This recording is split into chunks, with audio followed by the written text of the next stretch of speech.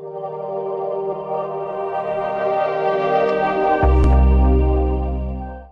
الله الرحمن الرحيم والصلاة والسلام على أشرف المرسلين سيدنا محمد خاتم الأنبياء والمرسلين معالي الدكتور محمد بن سعيد المعمري الموقر وزير الأوقاف والشؤون الدينية راعي انطلاق أعمال المؤتمر العماني للصيرفة الإسلامية للعام 2023 المكرمون أعضاء مجلس الدولة أصحاب السعادة المشاركين والحضور الكريم المتابعين عبر منصات التواصل الاجتماعي في كل مكان.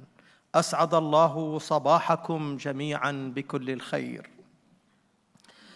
في البداية وقبل أن أبدأ لابد من كلمة طيبة في حق الشعب الفلسطيني. فنحن نعلم ونشاهد بشكل يومي المجازر وجرائم الحرب التي ترتكبها إسرائيل آه، القوى الطغيان والظلم. ما يقع على الشعب الفلسطيني الذي يناضل من أجل تحرير أرضه. فمنذ 7 أكتوبر حرب أو معركة طوفان الأقصى التي انتصر فيها الشعب الفلسطيني بشكل دامغ وهزيمة منكرة للجيش الإسرائيلي الذي تصرف عليه مليارات من جيوب دافعي الضرائب الأمريكان والغربيين. هذه الدولة المعتدية والتي ترتكب بشكل يومي على مدى أكثر من ثلاثين يوم وعلى مرأى من العالم وتلفزيونات العالم جرائم حرب واضحة جدا. وقد أحسن آه، ونشيد يعني هنا ببيان وزارة الخارجية العمانية التي أشارت والتي تندد بهذه الجرائم التي يقوم بها آه، الإسرائيليون في قطاع غزة وفي فلسطين بشكل عام. ولكن خلونا نعرف إنه كما تعلمون يعني كمية القنابل التي ألقيت على غزة في خلال شهر أكثر من 25 ألف طن من القنابل. يعني ما يعادل يقول لك حسب المحللين قنبلتين نوويتين من اللي ألقيت على هيروشيما. فحجم دمار مرعب وكبير. ولكن خلينا نقول في النهاية ماذا سيكتب في كتب التاريخ عن 7 أكتوبر؟ هو نصر وأول نصر مبين للمقاومة الفلسطينية على هذا الجيش الغاشم.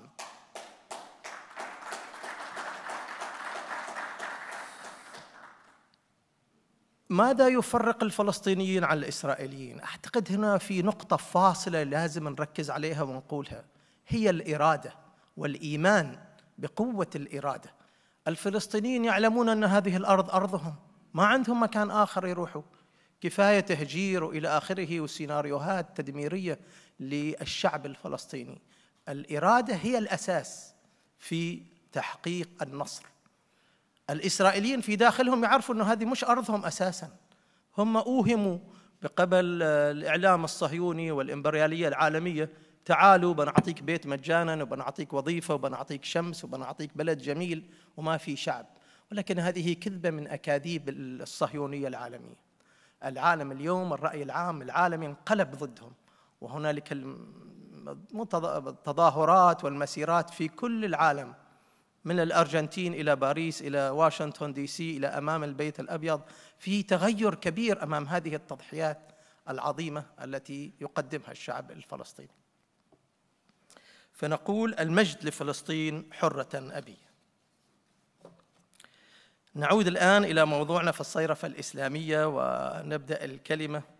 يطيب لي ابتداء أن أرحب بكم جميعا أجمل ترحيب وأنتم تشرفون أعمال الدورة الحالية من هذا المؤتمر الصيرفة الإسلامية والتمويل التنافسية وصناعة فرص الاستثمار. هذه الجملة اللي هي من خمس كلمات هي عنوان المرحلة القادمة. التمويل والتنافسية وصناعة فرص الاستثمار هذا ما يحتاجه الاقتصاد العماني حسب رؤية عمان 2040 إذا كان عندنا تطوير لقطاع التمويل وبشكل واضح و يعني مضاعف ونمو يستطيع هذا القطاع الخاص أن يلبي احتياجات المرحلة خلق وظائف تنويع الاقتصاد وغيرها. فهذا العنوان في غاية الأهمية.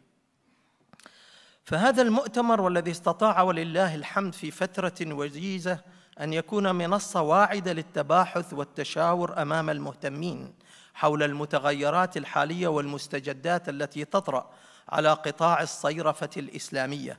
باعتباره قطاعا متطورا يفرض على الجميع حث الخطى من أجل تعزيز تنافسيته ورفع مستوى إسهاماته في مسيرة التنمية الشاملة بالبلاد خصوصا بعدما تمكن من تقديم نفسه من خلال النتائج كأحد الأذرع الأصيلة في حفز جهود التنويع الاقتصادي.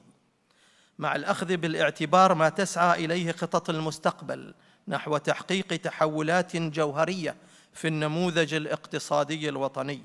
المرتكز في معظمه اليوم على الإيرادات النفطية عب عب عبر أحد الأهداف الاستراتيجية لرؤية عمان 2040 والتي تتطلع للوصول إلى نمو اقتصادي مبني على الاستثمار والإنتاج والتصنيع والتصدير. هذه أيضا من رؤية عمان.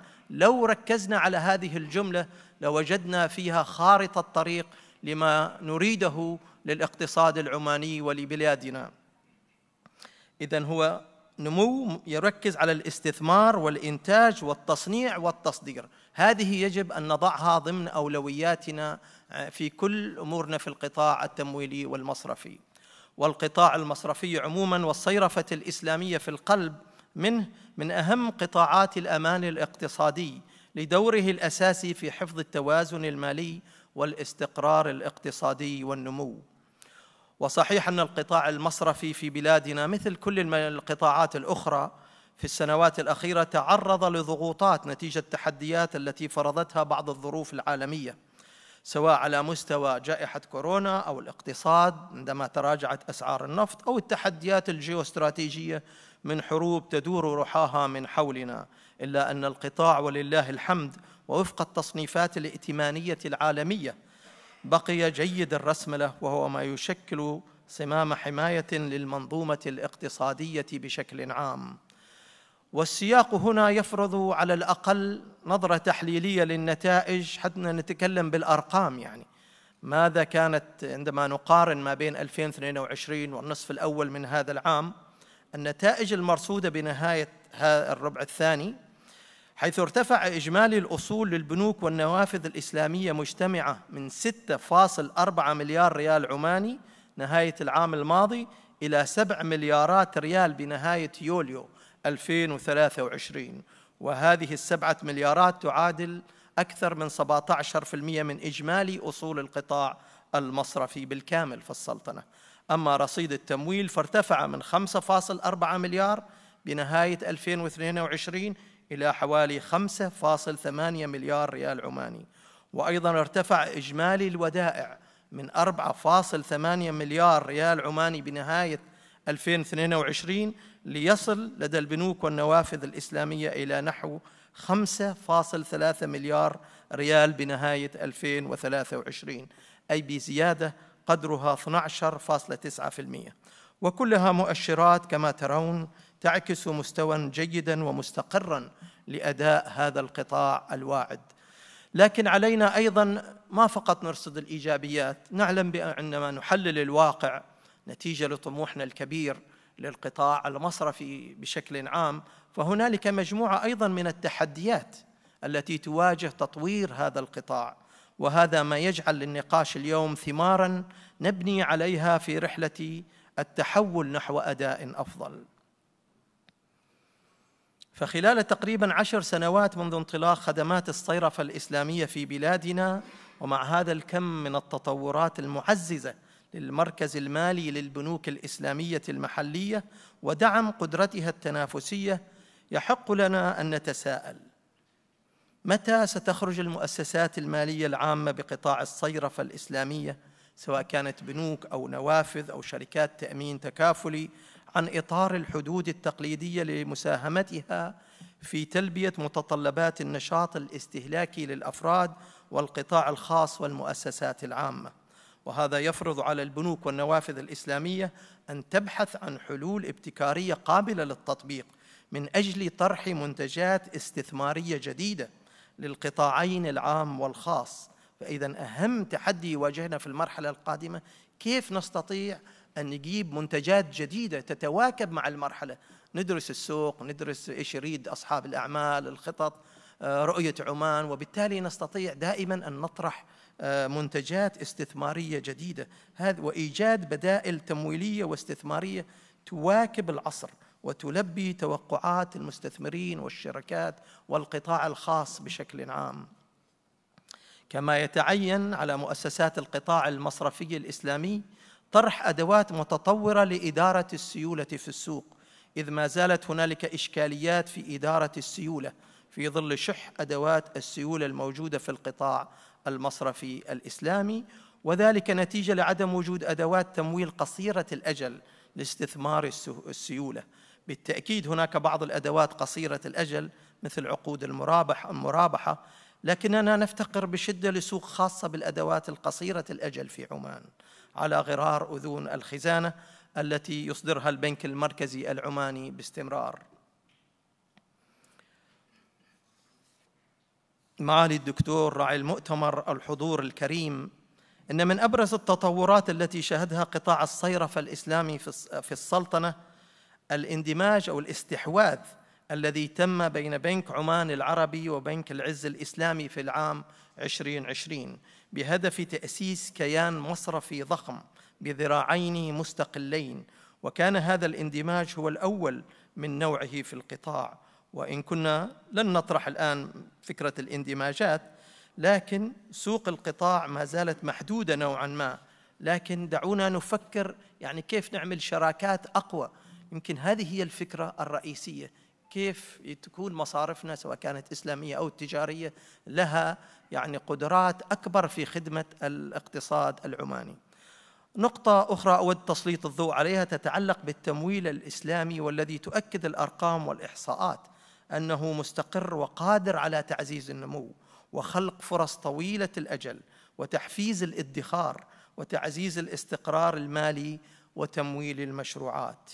فقبل حوالي سنة من الآن طرح البنك المركزي العماني أداة سوق النقد للاستثمار بالوكالة لدعم جهود المؤسسات المصرفية الإسلامية في إدارتها الفاعلة للسيولة المتوافقة مع الشريعة لضخ السيولة للقطاع المصرفي وامتصاص فائض السيولة من القطاع لضمان أنها تصل إلى استثمارات وتقوية الاقتصاد.